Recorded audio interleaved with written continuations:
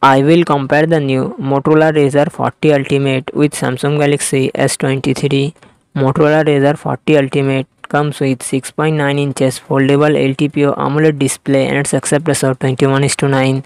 Samsung Galaxy S23 comes with 6.1 inches dynamic AMOLED display and success ratio 19 is to 5 to 9.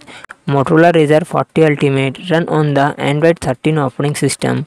It comes with 8GB, 12GB RAM and 256GB, 512GB internal storage.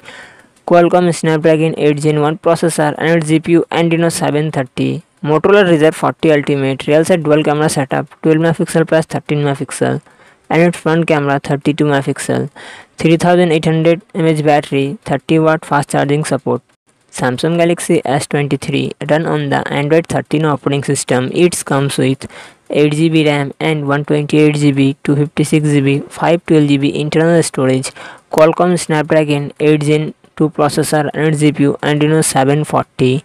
Samsung Galaxy S23 real set triple camera setup 50 megapixel plus 10 megapixel plus 12 megapixel and its front camera 12 megapixel 3900 mAh battery 25 watt fast charging support